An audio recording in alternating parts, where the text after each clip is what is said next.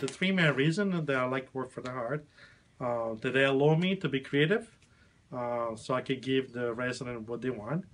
Uh, the staff treats the resident like a family, and after 11 years, I still see uh, the passion in the whole team, and the management is very appreciative of all the work we do. Thank you.